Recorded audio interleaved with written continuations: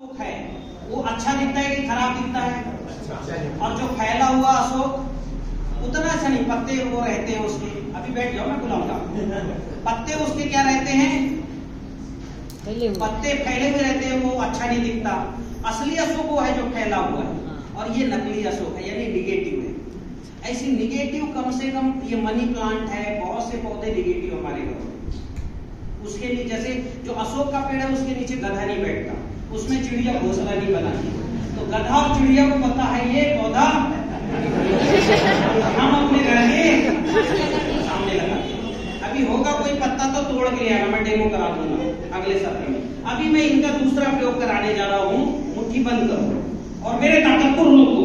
ये भी मेरे ताकत को रोक। लिए रोक लिए। अब मैं इनको स्टील का जो है, ये स्टील है अच्छा ये बताओ स्टील की थाली में अगर हम घंटी जैसे बजाते आवाज़ अच्छा लगता है कि बुरा?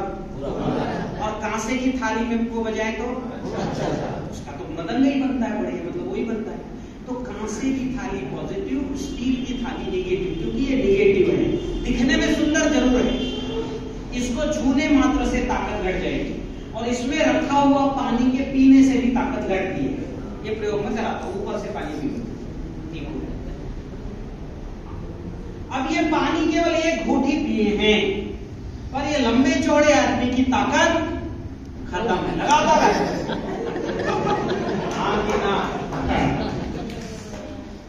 आप स्टील की चाकू से काट के फल खाओ, फिक्का लगेगा। लोहे की चाकू से काट के खाओ, वही फल मीठा लगेगा। तो स्टील की कोई धातु भारत में नहीं थी। में सोना, चांदी, तांबा, जिंक, पारा जैसी धातु थी। और ऐसी धातु जिंक जैसे कोई बना सकते हैं, जिंक बनाना सरल नहीं है। जिंक जैसी धातु भारत में बन सकती तो स्टील ही बन सकती। हाँ?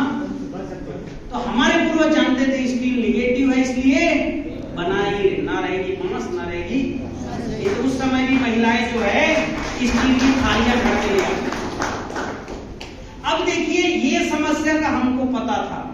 तो हमने निदान भी ढूंढा। देखो, इतना समय से ये खड़े हैं, ताकत इनकी कुछ नहीं है अभी भी। आधे घंटे बाद भी इनकी हाथ दबा हुआ ना, दब जाएगा। हमारी जो शरीर है 1200 एनर्जी वेव्स में खूब दौड़ सकती है। कितने में?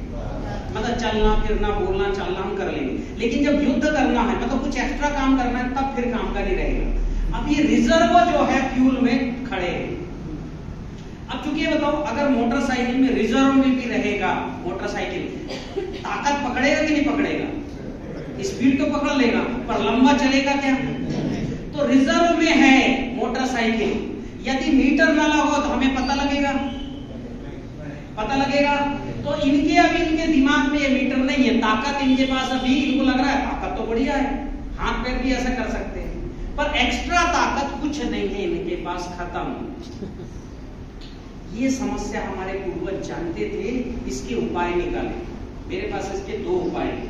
एक है परमानेंट और एक है टेम्परेरी कौन सा उपाय चाहिए आपको तो परमानेंट उपाय मैं अगले में बताऊँगा अभी टेम्परेरी उपाय बता रहा हूँ। ये जो पानी है इसकी उत्पत्ति माता गंगा से हुई। जब गंगा धरती पे आई तभी पानी शुरू हुआ नहीं तो उसके पहले पानी नहीं था। तो माता गंगा इसकी हेड ऑफ़ द डिपार्टमेंट है।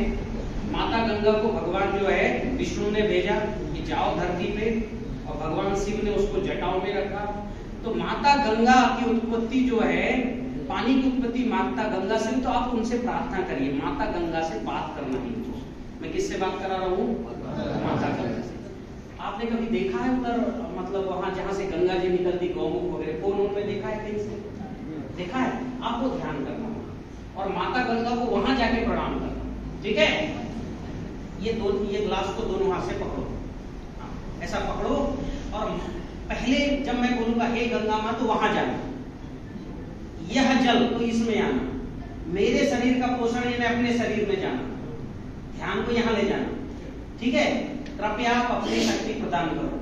माता गंगा से कहना, शक्ति दो माता। हे ईश्वर, इस कार्य मेरी मदद करना। ईश्वर आखिरी अपना है। ठीक है? जैसे हमने जो है स्कूल में प्रार्थना पत्र हेडमास्टर को लिखेंगे और कलेक्टर को बोलते हैं फ़ोन करके कि हमने ऐसा ही। तो ये आपको प्रार्थना करना है। अभी भूल जाओ, कोई है यहाँ पर। ठीक है? ध्यान से इसको देखो। ठीक सावधान। हे गंगा माँ, यह जल मेरे शरीर के पोषण के लिए है। कृपया आप अपनी शक्ति प्रदान करें। हे ईश्वर, इस कार्य में मेरी मदद ये पानी पी लीजिए आप सही है एक नए गिलास में कोई पानी लेके आओ दौड़ के। एक नए व्यक्ति को मैं मुट्ठी बंद करूँ और जितनी ताकत पहले थी अभी इनकी ताकत कहीं सुनी पड़ी वहाँ की ना गई उनकी। जब आए तो उससे ज़्यादा नहीं। थी। उस समय तो हाथ पे दबा सकता था। अब एक गिलास दूसरा पानी ले आओ घर से। आइए बोतल से ले आओ। बोतल का चले जाओ। आप आओ जरा जो दूसरे आ रहे थे। अभी देखो, प्रार्थना इनने किया। समझ रहे हो? प्रार्थना इनने किया है। इनको ऊर्जा मिल रही कि नहीं मिल रही?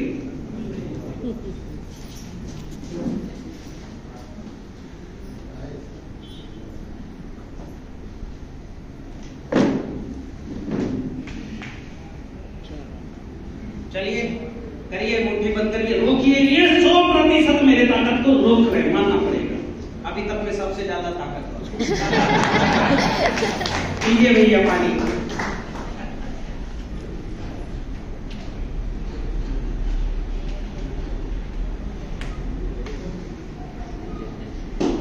मुट्ठी बंद करो, मेरे ताकत को रोको। जो सबसे ज़्यादा ताकतवर है अभी सबसे कमज़ोर है। उंगली में दबा सकता हूँ इनका उंगली। रोको भाई कुछ तो रोको।